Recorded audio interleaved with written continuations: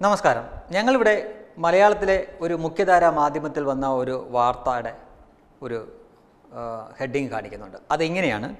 ആടിന്റെ മുഖത്ത് ഉപ്പ് തേക്കും ബഹളമില്ലാതെ ഉപ്പ് നക്കുന്ന ആടിനെ കാറിൽ കടത്തും. ഒരു കന്നുകാലി മോഷണത്തെ പറ്റിയുള്ള ഒരു വാർത്തയാണ് ഒരു സാധാരണ വാർത്ത.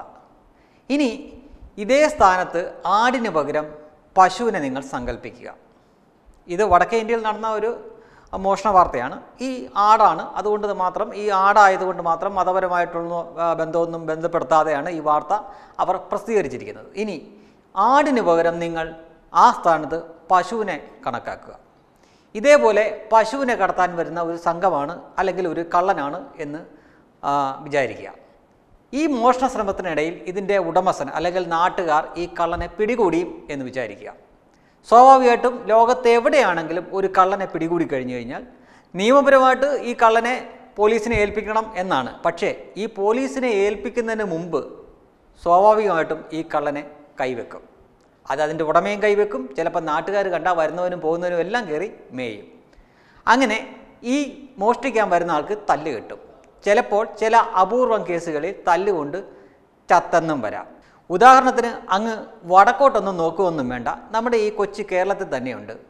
ഒരു പാക്കറ്റ് മുളക് പൊടിയും ഒന്നോ രണ്ടോ കിലോ അരിയും മോഷിച്ചു എന്ന കാരണത്താലാണ് മധുവിനെ അട്ടപ്പാടിയിലുള്ള മധുവിനെ നമ്മുടെ ആളുകൾ അല്ലെങ്കിൽ മലയാളികൾ തല്ലിക്കൊന്നത്. അതേപോലെ തന്നെ അന്യസംസ്ഥാന തൊഴിലാളി നമ്മുടെ ഭാഷയിൽ പറഞ്ഞാൽ അതിഥി തൊഴിലാളി വർക്കലയിലാണ്.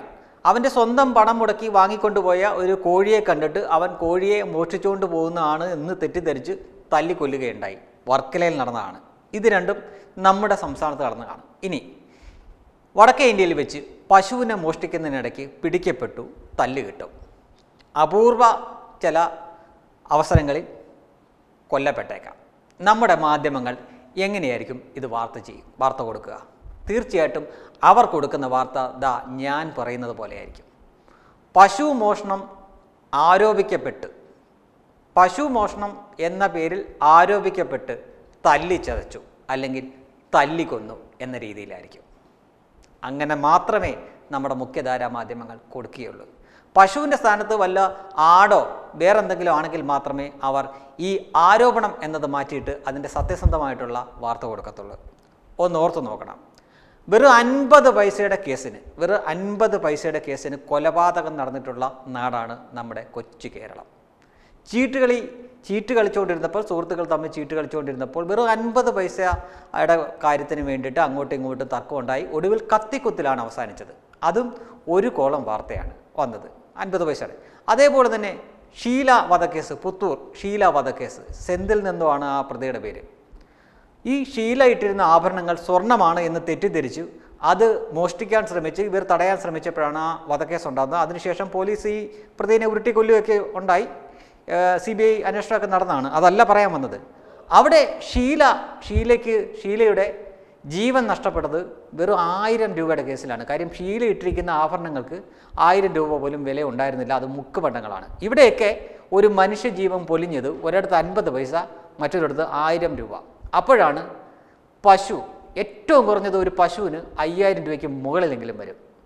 ഏത് നാട്ടിലായിക്കോട്ടെ. അയ്യായിരം രൂപയ്ക്കൊന്നും ഒരു പശുവിന് കിട്ടത്തുപോലുമില്ല ഞാനൊരു പൊതുവെ ഒരു ഒരു ശരാശരി വെച്ച് അങ്ങ് പറഞ്ഞതേ ഉള്ളൂ.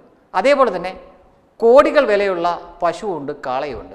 സംശയമുള്ളവർക്ക് ഗൂഗിളിൽ നോക്കിയാൽ മതി. യുവരാജ് എന്ന് പറഞ്ഞ ഒരു കാളയ്ക്ക് കോടികളാണ് വില. അത് അതിന്റെ ഉടമയ്ക്ക് ഒരു ദിവസം തന്നെ ഉണ്ടാക്കി കൊടുക്കുന്നത് ലക്ഷങ്ങളാണ്. അതുകൊണ്ടാണ് അതിനത്രയും വില വരുന്നത്. ഇവിടെയൊക്കെ മുഖ്യധാര മാധ്യമങ്ങൾ അത് വാർത്തയാക്കിയതാണ്. പറഞ്ഞു വരുന്നത് ഇതാണ്. പശുവിനെ മോഷ്ടിക്കാൻ ശ്രമിക്കുന്നു പിടിക്കപ്പെടുന്നു തല്ല് കെട്ടുന്നു ചിലപ്പോൾ കൊല്ലപ്പെടുന്നു. അപൂർവമാണ് കൊല്ലപ്പെട്ടത്. പക്ഷേ നമ്മുടെ മാധ്യമങ്ങൾ ഇത് മതവും വിശ്വാസവുമായിട്ട് കണക്ട് ചെയ്യും. അത് അവിടെയാണ് യഥാർത്ഥത്തിൽ പണ്ട് എം സ്വരാജ് പറഞ്ഞതുപോലെ പിതൃശൂന്യ പത്രപ്രവർത്തനത്തിൽ പ്രവർത്തിക്കുന്നത് ആ സമയത്താണ്.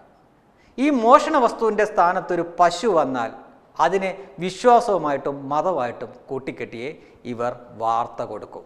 അപ്പോഴാണ് ഇനി ഞാൻ ഇവിടെ ആദ്യം കാണിച്ച ആ പിക്ചർ ഒന്നുകൂടെ ശ്രദ്ധിക്കേണ്ടത്. ആടിനെയാണ് മോഷ്ടിക്കുന്നത്. ഈ മോഷ്ടാക്കളുടെ പുതിയ രീതിയാണ്. മുഖത്ത് ഈ ഉപ്പ് പുരട്ടുക അപ്പോൾ ആട് ഈ ഉപ്പ് നക്കി നിൽക്കും. ആ സമയത്ത് ബഹളം വെക്കത്തില്ല.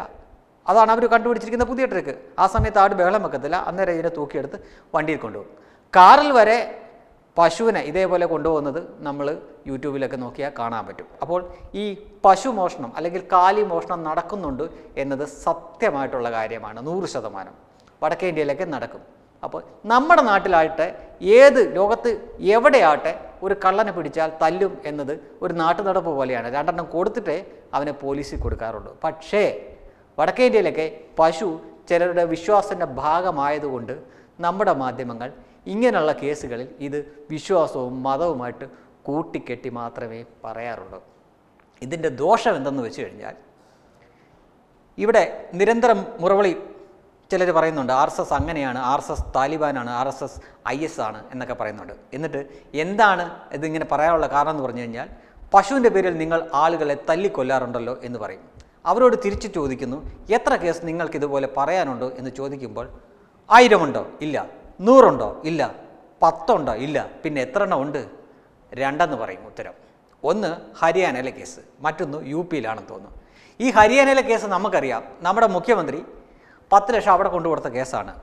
നമ്മുടെ രാജ്യത്തെ കോടതികളിൽ നിങ്ങൾക്ക് വിശ്വാസമുണ്ടെങ്കിൽ നിങ്ങൾ വിശ്വസിക്കുക. കോടതി പറഞ്ഞതാണ് അത് സീറ്റ് തർക്കത്തിനെ തുടർന്നുണ്ടായ കൊലപാതകമാണെന്ന്. പക്ഷേ ഇവിടെ പറഞ്ഞത് നമ്മുടെ മാധ്യമങ്ങളടക്കം പറഞ്ഞത് അത് പശുവർച്ചി തിന്നു എന്ന കാരണം പറഞ്ഞിട്ടാണ് ഈ അടി ഉണ്ടായതും കത്തിക്കുത്തുണ്ടായതെന്നാണ് ഓക്കെ. അപ്പോൾ കോടതി അവിടെ പറഞ്ഞു കഴിഞ്ഞു. ബാക്കി ശേഷിക്കുന്നത് യു പിയിലൊരു പശുക്കൊലയാണ്. അതായത് പശുവിന്റെ കൊന്നു അതിന്റെ ഇറച്ചി ഫ്രിഡ്ജിൽ വെച്ചിരുന്നു അയൽവക്കക്കാരറിഞ്ഞു അങ്ങനെ അങ്ങോട്ടും ഇങ്ങോട്ടും ചോദ്യം ഉണ്ടായി ഒരു വൃത്തനെ തല്ലിക്കൊന്നു എന്ന്. ശരി ഇനി അത് പശുക്കൊല തന്നെയാണെന്ന് വെക്കുക.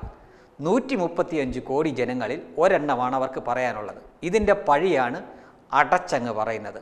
ഒന്ന് ഓർത്തു നോക്കുക നൂറ്റി മുപ്പത്തിയഞ്ച് കോടി ജനങ്ങളുള്ളതിൽ പശുവിന്റെ പേര് തല്ലിക്കൊന്നു എന്ന് പറയുന്നത് ഇവർക്ക് ചൂണ്ടിക്കാണിക്കാനുള്ളത് ആകെ ഒരെണ്ണമാണ്. എന്നിട്ട് ആ ഒരെണ്ണം വെച്ച് ബാലൻസ് ചെയ്യുന്നു ആർ എസ് എസ് സമം താലിബാൻ സമം ഐസിസ് സമം H D F C bank അല്ലെങ്കിൽ എസ് ബി ഐ ബാങ്ക് എന്നൊക്കെ പറഞ്ഞുകൊണ്ട് അങ്ങ് തുടങ്ങുകയാണ്.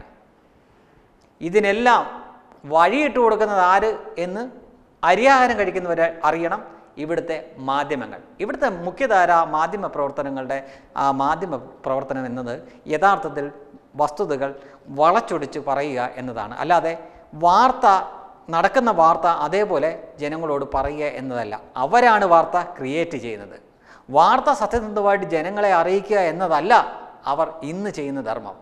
അവരായിട്ട് തന്നെ വാർത്തകൾ ഉണ്ടാക്കിയാണ്. ശ്രദ്ധിച്ചാൽ അറിയാം നമ്മുടെ മുഖ്യധാര മാധ്യമങ്ങളെ പല ചാനലുകളും അവർ വാർത്ത എഴുതി ഉണ്ടാക്കി വന്നിട്ട് നമ്മളോട് മുന്നിൽ പടച്ചു വിടുകയാണ് ചെയ്യുന്നത്. ഇവരെ നമ്മൾ വേണ്ട സമയത്ത് വേണ്ട പോലെ തിരിച്ചറിഞ്ഞില്ലെങ്കിൽ ഭയങ്കര അപകടമാണ്. അതിനൊരു ഉദാഹരണമായിട്ടാണ് ഇപ്പോൾ ഞങ്ങളുടെ മുന്നിൽ കിട്ടിയ ഈ ആടിനെ മോഷ്ടിക്കുന്ന ഈ ഒരു ഈ ഒരു വാർത്തയും അതേപോലെ തന്നെ നമ്മൾ പലപ്പോഴും കേട്ട് തെറ്റിദ്ധരിക്കപ്പെട്ടിട്ടുള്ള ഈ പശുക്കടത്തിനെ പറ്റിയുള്ള ഒരു കാര്യം നിങ്ങളുടെ മുന്നിൽ അവതരിപ്പിച്ചത്. ഇനി നിങ്ങൾ ചിന്തിക്കുക നമ്മുടെ മുഖ്യധാര മാധ്യമങ്ങൾ എത്രമാത്രം കളവ് നമ്മളോട് പറയുന്നുണ്ടെന്ന് സമൂഹത്തിൽ അന്ധചിദ്രം ഉണ്ടാക്കാൻ അവർ അവരുടെ കഴിവിന്റെ പരമാവധി ഉപയോഗിക്കുന്നുണ്ട് എന്ന് അപ്പോഴേ നിങ്ങൾക്ക് മനസ്സിലാകൂ. Web desk Tatwamayi news